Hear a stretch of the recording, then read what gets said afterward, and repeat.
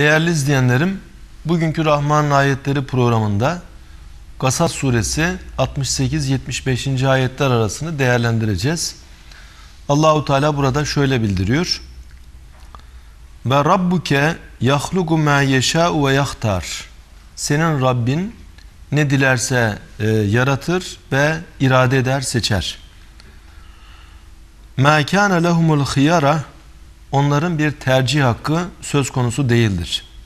Subhanallah Allah yücedir, münezzehtir ve Teala amma yüşrikun onların şerik koştukları şeylerden Allah e, yücedir, münezzehtir.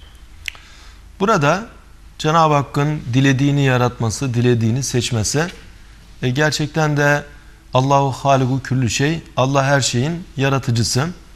Şu alemde e, herhangi bir varlık ben şunu yarattım diyemiyor. E, mesela insanlar epey bir işler yapıyorlar. Büyük büyük binalar yapmak gibi, dev uçaklar yapmak gibi nice e, büyük projelere imza atıyorlar. Ama hiçbir insan bunu biz yarattık diyemez. Çünkü yoktan yaratmak tarzında bir şey mümkün değil. İnsanlar açısından ve mahlukat açısından mümkün değil. Ama Allahü Teala dilediğini yaratıyor ve dilediğini seçiyor. Biz şu anda mesela kendi e, yaratılışımızı düşünecek olsak Allah'a herhangi bir dilekçe vermedik. Allah bizi başka şekilde de yaratabilirdi ve e, cinsiyetimiz farklı olabilirdi. Herhangi bir millete mensubiyetimiz daha farklı olabilirdi. Saçımızın rengi, gözümüzün rengi, boyumuz, huyumuz bunlar daha farklı olabilirdi.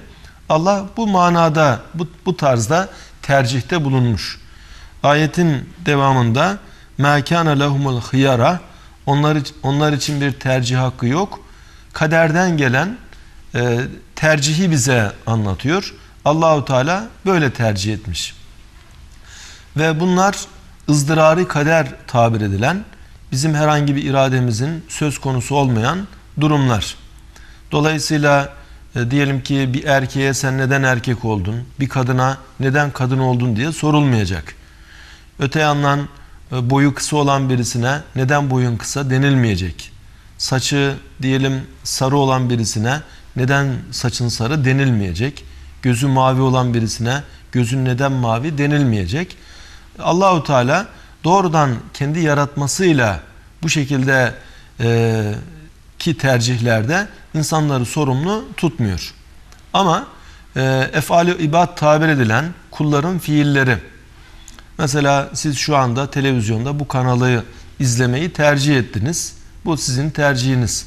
Aynı anda isteseniz başka tercihte de bulunabilirdiniz. Bunun gibi hayat boyu bizim önümüze tercihler sunuluyor. Şu anda diyelim birisi meyhaneye doğru gidiyor, birisi de camiye doğru gidiyor. Meyhaneye doğru gideni götüren de Allah'tır. Camiye doğru gideni götüren de yine Allah'tır. Ancak şöyle bir fark var. Bunun başlangıcı bizdendir. Buna cüzü ihtiyari deniyor. Allahu Teala ihtiyardan bir cüz vermiş bize ve bu şekilde insan mesul oluyor. Yani sorumlu olabilmemiz için bize bir tercih hakkı bırakılmış. Ve bu tercih hakkı kendi fiillerimizle alakalı durumlarda yoksa e, falan anne babadan dünyaya gelmek, işte saçımızın rengi, boyumuz gibi şeyler bunlar bize sorulmamış ve bunlardan zaten sorumlu da değiliz. Ayet-i kerimeye bu mananın verilmesi yanında şöyle bir manada veriliyor. Ve rabbuke yahlugu ma yeşâ'u Rabbin dilediğini yaratır ve yahtaru ma kana lehumul hiyara onlar için hayırlı olanı seçer. Bu da e, buradaki ma e, mevsul manası verildiğinde böyle bir mana meydana geliyor. Bu da güzel bir manadır. Yani Allah onlar için hayırlı olanı seçer. İşte insanın cüz'i bir iradesi var ama Allah'ın külli iradesi var. Dolayısıyla büyük zatlar, kamil insanlar e, dualarında demişler ki Tebarra'tu ileyke min havlu ve kuvvetim. Ya Rabbi kendi havl ve kuvvetimden sana teberri ettim. Vel tece'tu ila havlike ve, ve kuvvetike. Senin havl ve kuvvetine iltica ettim. Fela tekilni ila havlu ve kuvveti sen beni e, kendi halime, kendi irademe bırakma. Bu manada Cenab-ı Hakk'a tam tevekküllerini e, arz etmişler ve Cenab-ı Hakk'a e, tam yönelmişler ve inanmışlar ki Allah seçtiğinde bizim için en hayırlısını seçer. İstihare diye bir e, dua vardır, bir namaz vardır. E, istihare Allah'tan hayırlı olanı istemek. Diyelim birisi bir işe girmek istiyor ama hakkında hayırlı mı değil mi tereddüdü var.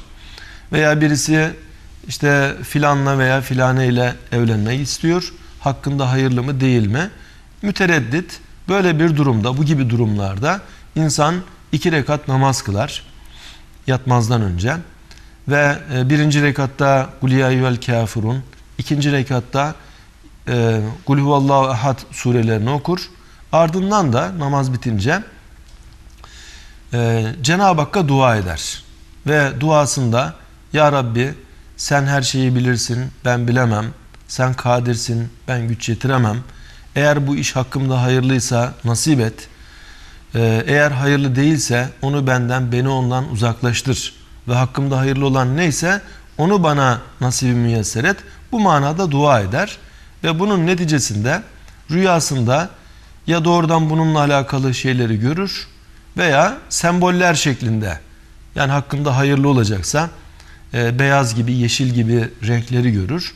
Ama hakkında hayırlı değilse siyah veya kırmızı gibi koyu renkleri görür. Renkler sembolüyle veya doğrudan rüyanın verdiği mesajla hakkında hayırlı olanı az çok oradan mesaj olarak alabilir. Tabi bunu yapabilmek için Allah'a tam bir teslimiyet lazım. Allah ona göre görüntüler meydana e, getirmektedir. Bir nevi istihare Allah ile istişare gibi oluyor.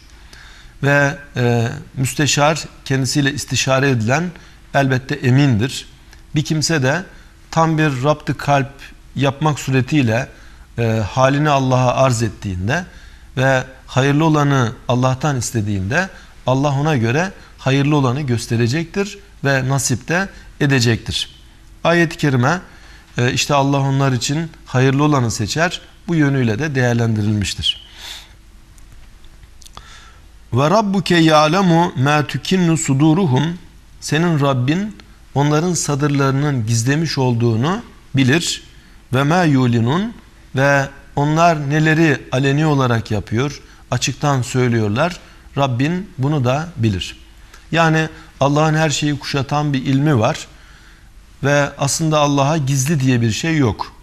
Nasıl ki bizim kendi içimizden geçenler bize gizli değildir ama muhatabımızın e, içinden geçenler bize gizlidir. Allah'a ise bizimki de onunki de hiçbiri gizli değildir.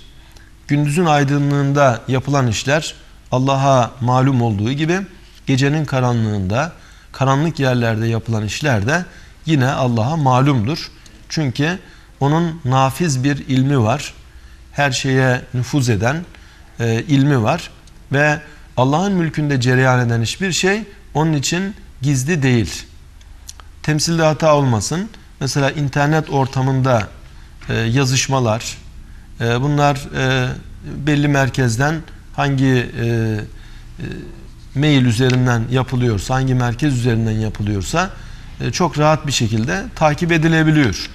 Ve her ne kadar başkaları e, yani sizin o maillerinizi bilmese de takip etmek isteyen merkez, e, oraya hakim olan e, elbette çok rahat bir şekilde sizin bütün yazışmalarınızı takip edebilir. Temsilde hata olmasın. Allahu Teala kendi mülkünde cereyan eden her şeyi elbette bilmektedir.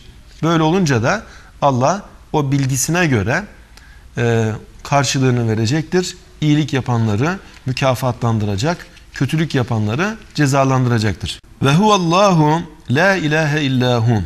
O Allah'tır. Ondan başka ilah yoktur. Ondan başka hak mabut yoktur. Lehul hamdu fil ula vel ahira başlangıçta da ahirette de sonunda da hamd ona aittir. Yani dünyada hamd ona ait olduğu gibi ahirette de hamd ona aittir. Mazide şükürler onun için yapıldığı gibi müstakbeldeki elhamdülillah demeler de yine onun için olacaktır. Nitekim bizler şu anda e, kıldığımız namazlarda her rekatta Fatiha'yı okuyoruz. Elhamdülillahi Rabbil Alemin diyoruz. Öte yandan nimetleri düşündükçe elhamdülillah diyoruz. Ve e, nimetleri e, bizzat yaşadığımızda halimize yine elhamdülillah diyoruz. Dünyada hamd bu şekilde Allah'a ait. Diğer alemde bizi dirilten Allah'a hamd edeceğiz. Elhamdülillah diyeceğiz. Bizi yokluk karanlıklarında bırakmadı. Toprakta e, çürümüş olan cesetlerimizi tekrar hayatlandırdı. Ebedi hayata bizi e, mazhar kıldı. Öte yandan cennet ehli cennete girdiğinde e, vaadini bize gerçek kılan Allah'a hamdolsun diyecekler. Cennet gibi en güzel bir nimete nail olmanın sevinciyle derinden derine elhamdülillah diyecekler. Ve öte yandan cennette gerçi ibadet yok ama Allah'ın nimetlerine mukabil elhamdülillah demek var. Ve ahiru davahum enelhamdülillahi rabbil alemin. Onların dualarının sonu elhamdülillahi rabbil alemin olacak. Ve Subhaneke Allahümme deyip Cenab-ı Hakk'ın e, sanatı karşısında hayranlıklarını ifade edecekler. Nimetlerine, nimetlerine mukabil de Elhamdülillahi Rabbil Alemin diye mukabelede bulunacaklar. Lehul hukmu ve hüküm de ona aittir. Yani e, dünyayı ahireti yaratan o, her şeyi bilen o, her şeye hükmeden de o. Haram helal gibi meselelerde hükmü koyan da yine o. Gerçi insanlar e, kendileri bir takım hükümler koyuyorlar, kanunlar koyuyorlar. Bunlar zaman zaman ilahi hükümlerle paralellik arz eder ama zaman zaman da ters yönde hükümler meydana gelir. İlahi hükümlerle beşeri hükümleri mukayese ettiğimizde beşeri hükümler genelde problemlidir. Mesela e, diyelim bir içki meselesi. E, Kur'an bunu açık bir şekilde yasaklıyor ama e, insanların pek çoğu içkiyi adeta bir nimet zannediyor ve e, hayatının bir parçası yapmışlar. İşte bir tarafta doğrusu öbür yanda eğrisi. Kur'an-ı Kerim yalan söylemeyi günah sayıyor. Veçteni bir kavle zur diyor. Yalan sözden kaçının. Ama insanların bir kısmı yalan söylemeyi adeta marifet telakki ediyor. Menfaatinin olduğu yerde yalan söylüyor. İşte bu konudaki hüküm insanların vereceği hüküm değil, doğrudan doğruya ilahi hükümdür. Öte yandan öldükten sonra dirilme olacak mı? E bu konuda hüküm hayatı yaratan zatındır. Yoksa yaratılmış olan insanların hükmü değildir. Çünkü bir zamanlar yokluk karanlıklarında olan bu insan kendi kendini var etmedi. Allah'ın yaratmasıyla var oldu. Bu alem kendi kendini var etmedi. Allah'ın yaratmasıyla var oldu. Yoktan yaratan yeni bir alemi niye yaratmasın? Dünü getiren yarını da getirebilir. Dünyayı yaratan ahireti de yaratır. İşte insanlar bu gibi meselelerde de verdikleri hükümlerde yanılabiliyorlar. Bu konuda da hüküm yine Allah'ındır. İnel hukmu illa lillah. Hüküm ancak e, Allah'ındır. Ve ileyhi turcaun ve siz ona döndürüleceksiniz. Yani bu dünyada daimi kalmayacaksınız. Kendi başınıza da yokluk karanlıklarında kaybolup gitmeyeceksiniz. Allah'ın huzuruna götürüleceksiniz. Burada döndürüleceksiniz ifadesi gerçekten manidar. Yani bize kalsa daha önce gitmediğimiz bir şehre vardığımızda kaybolabiliriz. Ama e, Allahu Teala bizi ta ahirete kadar e, götürecek. Yani görevli melekleri bizi oraya kadar götürecekler ve ahiret aleminde başka bir alemde hayatımız devam edecek. Kul eraeytum Ey peygamber de ki bana haber verin bakalım. İn cealallahu aleykumul leyle sermeden ila yevmil kıyame. Eğer Allah kıyamet gününe kadar e, geceyi daimi kılsa, hep böyle gece olsa, men ilahun gayrullah ye'tiküm bi diya. Allah'ın dışında hangi ilah size ziya getirebilir?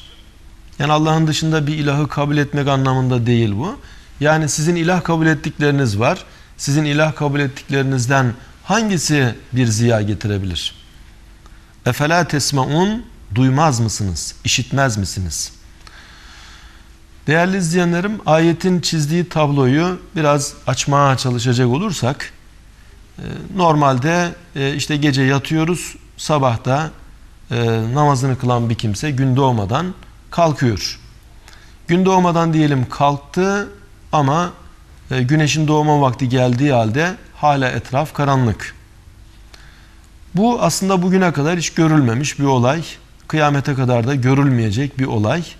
Çünkü eşşemsu vel gameru bi husben güneş de ay da hesab ile dakik bir nizama tabi ve güneş bir saniye bile görevine geç kalmaz. Ne zaman doğacaksa doğar. Ne zaman güneş tutulacaksa tutulur. Ama farazi olarak bunu söylüyoruz. İşte e, diye bir sabaha çıktık ama güneş doğmadı. Biraz bekleriz belki. E, belki bugün biraz gecikmiştir kabilinden. Ama bir saat geçti güneş yok. Beş saat geçti güneş yok. On saat geçti güneş yok. İnsan ne kadar böyle bunalır, daralır ve güneşe ne kadar böyle hasret kalır. Ee, ve e, bazen elektrikler kesildiğinde insan ne kadar rahatsızlık duyuyor. O karanlıktan ne kadar ürküyor ve korkuyor. İşte bu manada ta kıyamete kadar güneş doğmayacak olsa güneşi size kim getirir? Efela tesmaun duymaz mısınız? İnsan görerek de bir şeyler öğrenir. Mesela kitap okur, etrafı görür. Buralardan bir şeyler öğrenir. Ama kulak yoluyla da insan çok şeyleri duyar. İşte mesela diyelim peygamber anlatıyor, insanlar dinliyor. Veya alimler anlatıyor, diğerleri dinliyor. Ee, ne kadar güzel bir nimet. Burada da Allahu Teala Kur'an'la mesajını anlatıyor. Bunları duymaz mısınız? Bunlara kulak vermez misiniz? Kul eraytum in cealallahu aleykumun neharan sermeden ila yevmil kıyame. Ey peygamber de ki eğer kıyamet gününe kadar gündüz üzerinize devam etse men ilahin gayrullah men ilahun gayrullah ye'tikum bileylin teskunune fihim. Allah'tan başka hangi ilah kendisinde sükunet bulacağınız geceyi size getirebilir. Allah'tan başka ilah yok. Ee, ama insanların ilah kabul ettikleri var. Onlar böyle bir şeyi yapabilirler mi? Efela tubsirun görmez misiniz? Ve min rahmetihi onun rahmetindendir ki Allah'ın rahmetindendir ki ceale lekumul leyle ve nehara geceyi ve gündüzü kıldı liteskunu fihi gecede sükunet bulmanız için ve litebtavu min fadlihi ve gündüzde de onun lütfundan rızık talep etmeniz için kıldı ve leallekum teşkurun ta ki şükredesiniz. Bu nimetleri görüp de şükredesiniz diye geceyi gündüzü emrinize verdi. Ve yevme yunadihim Allah o gün onlara kıyamet günü nida eder.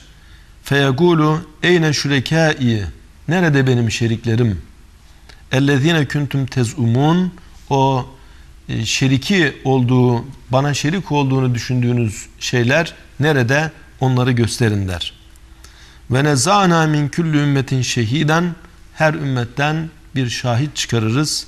Yani peygamber oraya tebliğci olarak giden, giden kimseyi onlara şahit yaparız. Fakulna hatu burhanakum onlara deriz ki haydi delilinizi getirin bakalım. Faalimu ennel hakka lillah. O zaman e, Allah'ın hak olduğunu, Allah'ın söylediği şeylerin gerçek olduğunu bilirler, anlarlar. Ve dalle anhum ma kanu yeftarun ve iftira etmiş oldukları şeyler kendilerinden kaybolur. İşte değerli izleyenlerim Kur'an-ı Kerim bu gibi e, ayetleriyle ufkumuzu açıyor. Bize tefekkürü öğretiyor ve şu dünya hayatını en güzel bir bir şekilde değerlendirme yollarını bizlere gösteriyor. Cenab-ı Hak layıkıyla istifade etmeyi hepimize nasip eylesin. Bir başka programımızda beraber olmak ümidiyle hayırlı günler diliyorum.